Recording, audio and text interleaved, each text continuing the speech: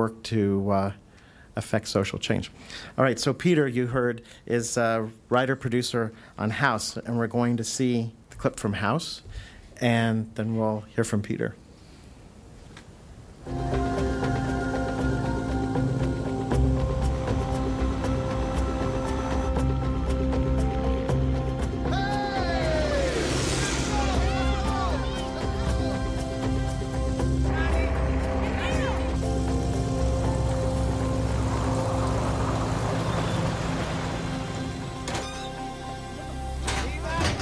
Dr. Sebastian.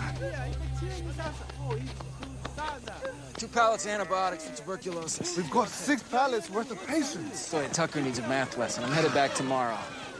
Hey! Hey! Look at these, Taylor! Careful! Look at the doctor! Come on! Come on! Just let the truck through! Let it through! Move through! Let the truck through! Move those boxes quick, quick! Let's move! Hurry, hurry! Let's go! Let's go, man! Hurry! Help! Help! Dr. Sebastian, come quickly! My son, he fell. He fell on this rock. We are just waiting for his friends. Tahoma, nilikwambia usicheze huko. I got no breath sounds on the left. Give me that.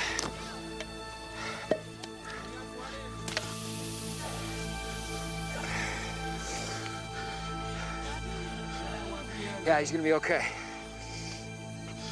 The fall didn't cause him to drop a lung. The lung caused him to fall. TB chewed it up.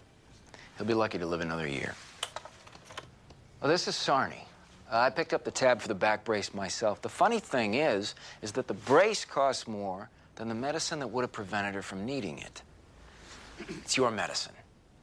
All of the antibiotics that we need are right here in your warehouses, in your factories, We provide over 10,000 doses a year. whi- which is not enough. You know we'd love to do more, but our hands are tied. New car, Jerry?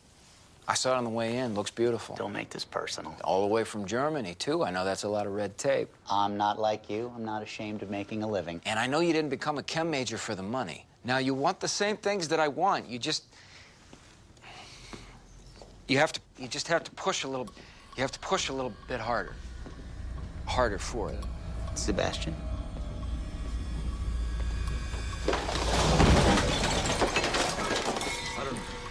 Call 911. Okay, okay. Isn't someone here a doctor? There's nothing there.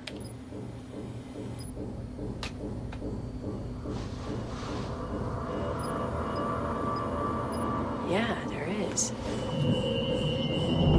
Did I ask you to plant a PPD? It was positive. He's got TB. Well, of course he's got TB. The guy's been in the jungle for 20 years. It's all preventable. Story Tucker makes medications right here in New Jersey. They have warehouses full of the stuff. There's more than enough to go around. So if I can get them, why can't Lila? Why can't Quismo? Why can't Sarny? Another person just died. Where is your outrage?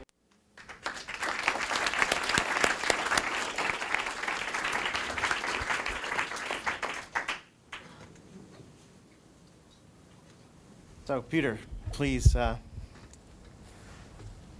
tell us about. Uh, So that that um that clip was uh, from an episode uh, that was written by uh, David Foster, who is uh, our writer, who's also a doctor, and um, it we chose it because it's the it's the episode of our show which is most. Um, which most clearly addresses global health issues. We um, we use a lot of we, we refer to a lot of diseases in our show. For those of you who haven't seen it, it's a medical mystery show, basically. Um, and um, um, every week, someone comes in with a strange disease, and we don't know what it is, and we end up solving it by the end. Um, the um, but most of the time, we use we use diseases uh, just simply to make the mystery interesting. We're really trying to service the story more than anything else. Um, but this episode, David really wanted to uh, talk about public health. Um, he the uh, the contrast he wanted to show by using this uh, this doctor as as the guy who got sick was um, the contrast between a global public health expert who basically knows that 3 million kids are going to die and they're all going to die of tuberculosis. And it's really a question of treatment. What do we do about it? How do we get the uh, the medicines to them on the one hand?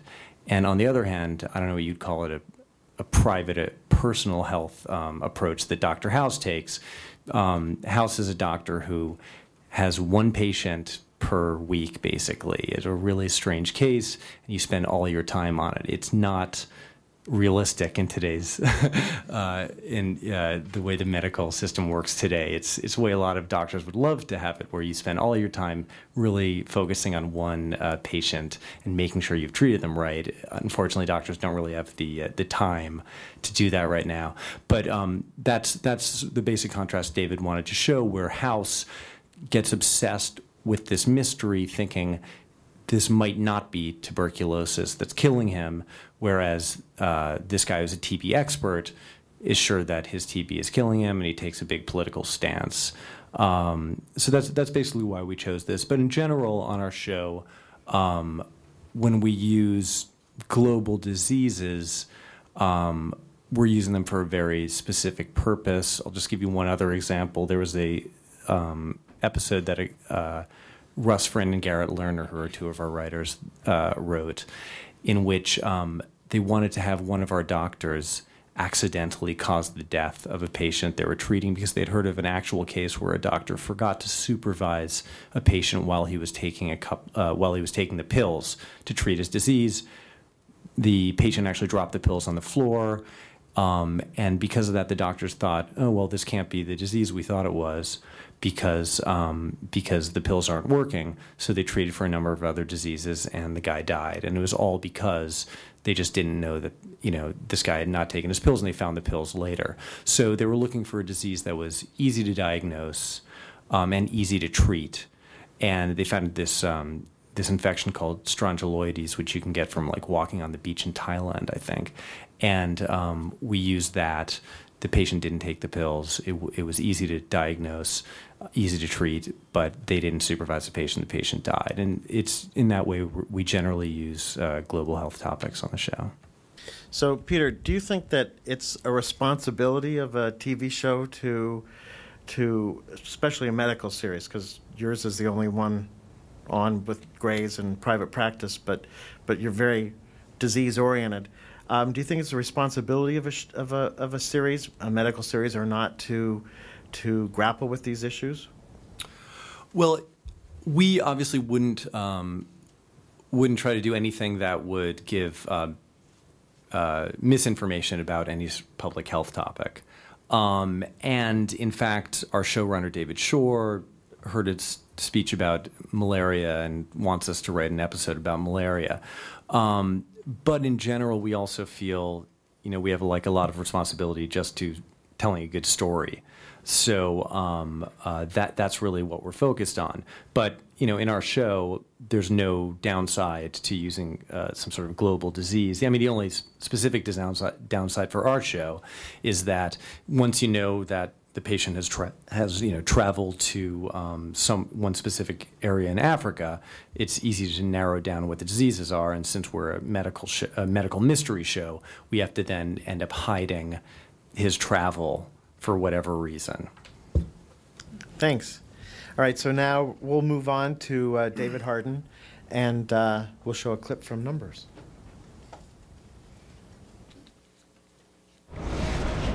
What the hell happened down here? It's like some kind of nightmare.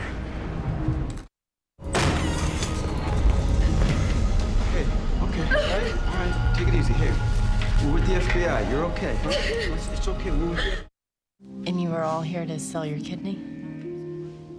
A man came to our village, promised us each $1,000. There's an area outside of Chennai. It's called Kidney Village. So you're saying there's regular traffic in human organs? There are over 80,000 people on the transplant waiting list in this country, and every day 17 of them die. Waiting. Without a new kidney, my father will die. But he has a blood disorder that disqualifies him from getting a transplant. The last person who received a transplant from these people died a few hours ago of a massive infection.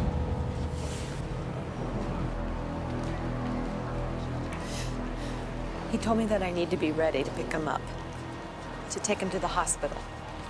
From where and when? At a hotel. Tomorrow. FBI, drop that scalp! Drop it! table. Turn around. Put your Turn hands around. behind your back. Frida? Jimmy, put her out! What were you doing at the DMV? Well, I'm now officially an organ donor. Check it out. Hey, look at that. Oh, what cool. Nice, huh? All right, so now I get treated with a little more respect around here, huh? You know, if more people took that simple step, can you imagine the ramifications? Basic economic theory, black markets rely on a shortage of a regulated commodity. That's right. Increase the supply, the black market disappears. Here's a couple extra applications in case anyone wants. Well, that's all right. I already got my sticker. Yeah, look, I've been an organ donor for years. so- Yeah, me too.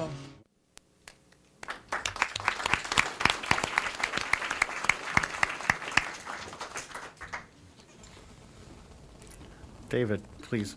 Um, first, I'd like to thank Dr. Yamada not only for a, a really interesting presentation, but also, if I may borrow it, Imperfect Tools, Imperfectly Applied, My Career in Hollywood. I think that's the right title for my new forthcoming autobiography. Um, and thanks to Sandra, too, for calling me distinguished. That almost never happens. So, the story behind Harvest. Um, I'd come across an article in the Christian Science Monitor about this um, transplant tourism, this global trade in, in black market organs.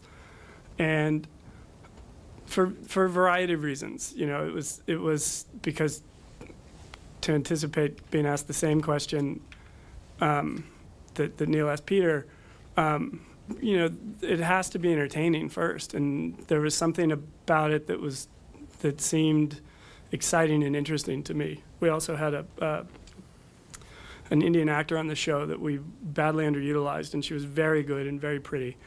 Um, and it was an excuse to address the Scott brothers note um, to the show, um, uh, who were executive producer of the show, said, "Why don't you use the Indian girl more?"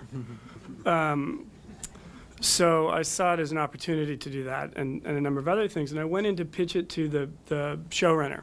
I assume it's a Hollywood crowd, so you guys may not know, but the showrunner is the guy who runs the show. Because we're writers. We come up with clever titles for things. Um, so I went in to pitch the, the, the idea to, to the showrunner, and he was immediately interested, immediately excited. You know, the air in my balloon is inflating. And then he said, But would this happen in LA? And there was a pregnant pause while all of the air rushed out of my balloon.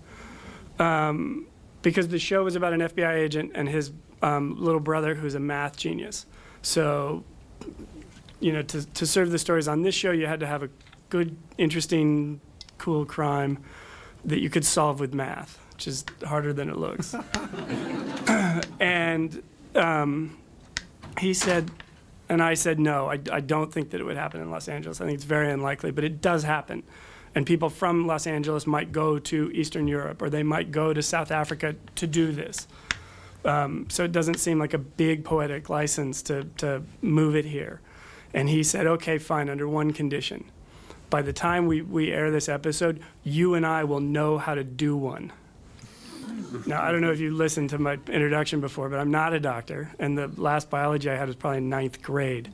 So I made an immediate and panicked call to the Hollywood Health um, folks who'd um, been by the show to, to present a couple of times, and I said, I need to know how to do a kidney transplant in a hotel room in downtown Los Angeles, and I need to, to know now.